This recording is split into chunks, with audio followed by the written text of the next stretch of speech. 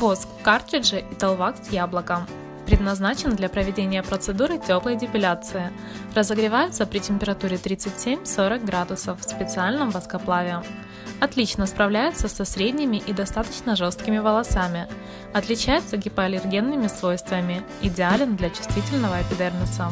Объем 100 мл. Страна-производитель Италия.